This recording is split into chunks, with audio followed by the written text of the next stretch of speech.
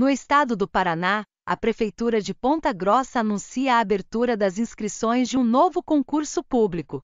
As inscrições podem ser realizadas por meio do site da FAO Concursos, no período do dia 14 de outubro de 2022 até 13 de novembro de 2022. Este concurso público terá validade de dois anos. Acesse nossa loja virtual através do link na descrição para ter acesso ao edital e material para todos os cargos deste concurso.